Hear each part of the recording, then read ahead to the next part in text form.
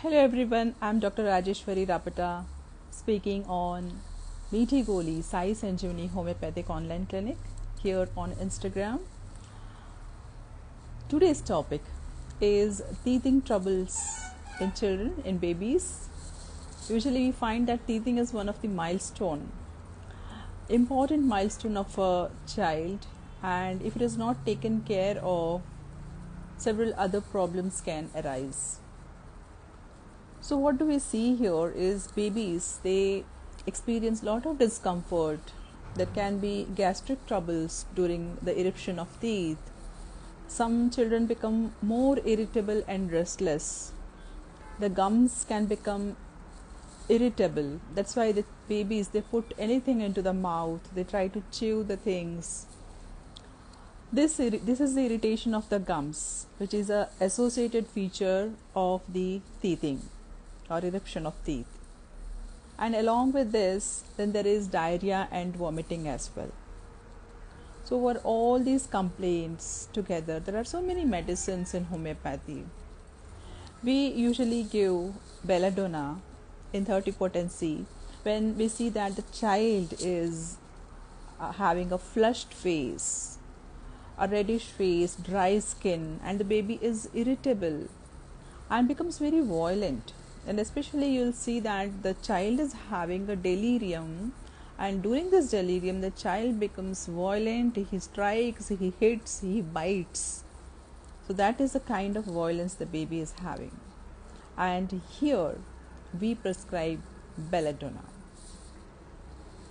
So delirium is one of the common features here in belladonna. Another medicine which we prescribe is chamomilla 30 which I have also described it in other children's ailments because these are some of the uh, medicines which are commonly indicated in children's children's complaints. So chamomilla 30 here again the child is very irritable, restless and the baby is having a painful dentition.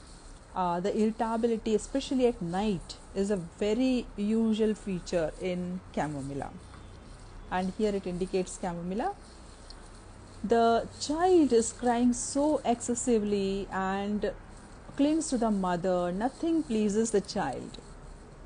That's what the mothers complain he wants to be carried all the time. And the, the chamomilla is also uh, especially good for the swollen gums during the teething. And here along with this all his teething complaints the child also passes green stools there is a complaint of loose stools which are greenish and have an offensive odor. And we prescribe chamomilla with very good results. And the dentition is ensured to be very safe and uh, without any complaints. Another medicine which we prescribe is calcarea carb. Calcarea carb in 30 potency. Here the child is very flabby plumpy you can say uh, overweight child uh, with chubby cheeks. And this child is very dull uh, and weak. And it ha- has the delayed milestones. The child may have a deficiency of calcium. Delayed dentition is there. The fontanelles can sometimes be open. And here especially the child's sweat is smelling and it smells sore.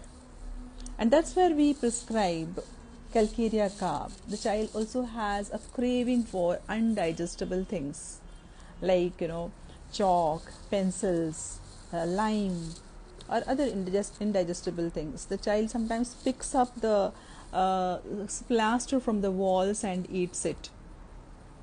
So here we prescribe calcarea carb in 30 potency it also helps in the deficiency of calcium in children and for difficult dentition and other complaints associated with dentition. Another medicine we give is Calcarea phos.